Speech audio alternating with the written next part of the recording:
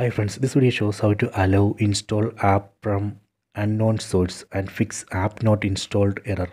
Please don't forget to subscribe this channel. Please like and share the video.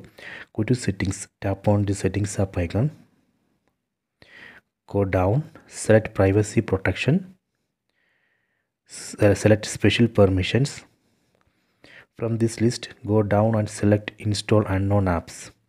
Here we can see list of apps. From this list, for example let me select google chrome browser select it then enable allow from this source. Tap here select checkbox tap on ok. So that way we can allow google chrome browser to download and install android apk file from uh, unknown source or internet tap on ok done. Then go back.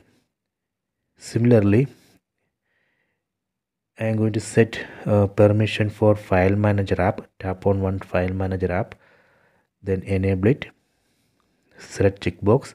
Select ok. So this way we can allow this file manager app to install android apk file which we downloaded in the phone or android apk file which we copied in pen drive or hard disk okay.